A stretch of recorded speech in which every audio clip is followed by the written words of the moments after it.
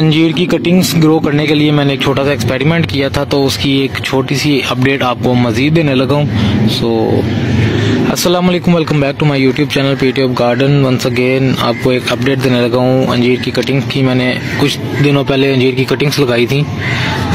जो कि इस तरीके से मैंने एक कंटेनर के अंदर लगाई थी। तो बहुत सी कटिंग्स सप्राउट हो गई हैं, लेकिन बहुत सी कटिंग्स में मुझे थोड़ा सा इशू आ गया था। तो मैंने सोचा आप लोगों के साथ शेयर करूँ। जैसा कि ये देख सकते हो, मेरी कोई दस बारह कटिंग्स थी, वो मैंने उनको चेक किया है तो उसके अंदर जो सा है मुझे रूट तो कोई नहीं नज़र आई। अलबत्त मुझे कटिंग्स जो है ना ऊपर से ड्राई होती हुई नज़र आ रही थी, जिस तरह ये देख सकते हो आप।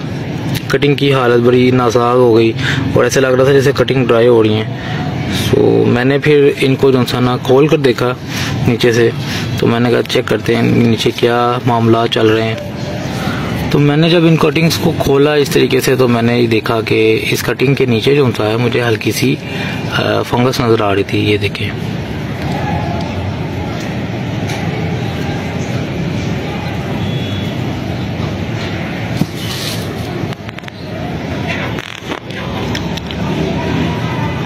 जैसा कि ये नज़र आ रहा है। अभी मैंने इसको जब खोला है तो वो टोटली नीचे से जो सा ना कटिंग इस तरीके से तकरीबन सारी कटिंग में नीचे से फंगल हो गई थी, गल गई थी।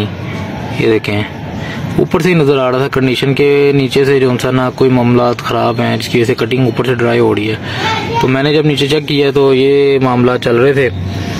फिर मैंने सारी कटिंग्स को खोला, उनकी मिट्टी को निकाल दिया। इस, ये देखें, मिट्टी में फंगस लग गई भी है। तो ये बेकार हो गई है। लेकिन इस फंगल मिट्टी को भी आप यूज़ कर सकते हो दोबारा से। वो किस तरीके से यूज़ कर सकते हो, वो एक अलग से वीडियो बनाऊँगा मैं और आपको बताऊँगा कि इस फंगल मिट्टी को दोबारा से कैसे यूज़ करना तो मैंने फिर क्या किया है कि जो जो कटिंग मेरी फंगल हो गई थी, मैंने उनके ऊपर एक नई टेक्निक लगा दी है। वो मैं आपको दिखाता हूँ।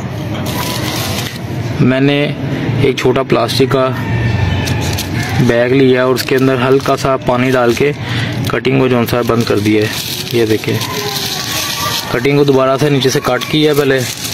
कट करने के बाद एक प्लास्टिक की थैली लेके उसके अंदर चंद रो पानी के डाले हैं ताकि मॉइस्चर बना रहे और उसको जो सा है एयर टाइट कर दिया है। ये एक्सपेरिमेंट मैंने इसलिए किया है कि चलो देखते हैं कि इस तरीके से रूटिंग होती है कि नहीं होती। और दूसरी तरफ़ मैंने कुछ कटिंग्स को इस तरीके से कर दिया कि जो मिट्टी उनके साथ लगाई हुई थी, मैंने वो बोल बनाए हुए थे छोटे, उस मिट्टी को एज इट इज़ एक बड़े पोली बैग में डालकर तो उसको थोड़ा सा ऊपर से एयर टाइट कर दिया।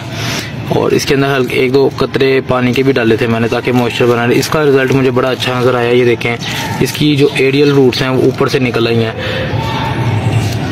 अलबत्ता नीचे फंगस लगी हुई है इसको मिट्टी के अंदर, जिस तरीके से मैंने अभी आपको ये कटिंग दिखाई है, इस तरीके से ये नीचे से फंगल इन्फेक्टेड है, लेकिन मैंने उसको छेड़ा नहीं। मैंने उसको एज इट इज़ जो सा ना एक बड़े पॉली बैग में डालकर ऊपर से हल्का सा पानी डाल दिया ताकि इसकी एरियल रूट्स निकल आए।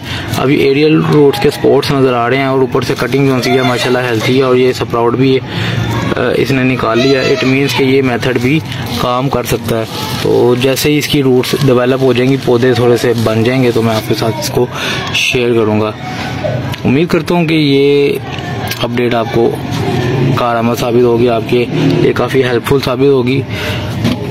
इसी तरीके से हमारी वीडियोस अगर आपको पसंद आए तो मज़ीद वीडियोस देखने के लिए हमारा चैनल सब्सक्राइब कर लें। अब तक के लिए इतने मिलते हैं नेक्स्ट वीडियो में। अल्लाह हाफिज़।